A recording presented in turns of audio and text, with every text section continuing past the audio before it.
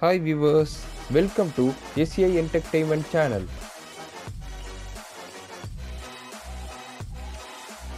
இந்த சேனலை first time நீங்கள் பார்க்குறீங்கன்னா சப்ஸ்கிரைப் பட்டனை ப்ரெஸ் பண்ணிக்கோங்க. மறக்காம பெல் ஐக்கானையும் ப்ரெஸ் பண்ணிக்கோங்க.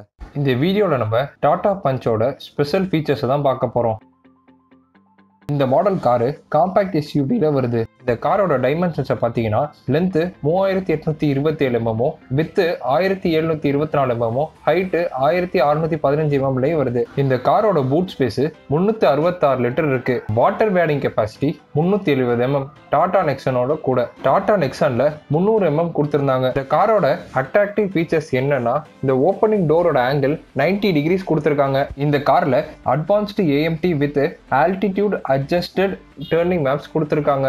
இது கியர் ஷிஃப்ட்டுக்கு ரொம்ப ஈஸியாக இருக்கும். இந்த காரில் ட்ராக்ஷன் ப்ரோ மோட் கொடுத்துருக்காங்க.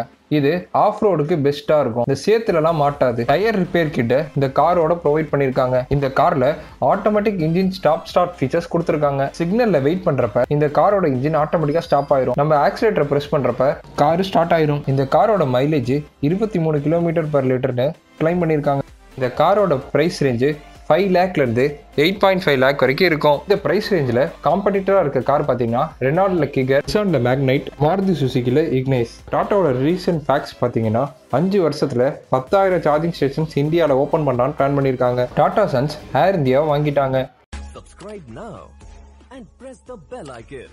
Never miss an update.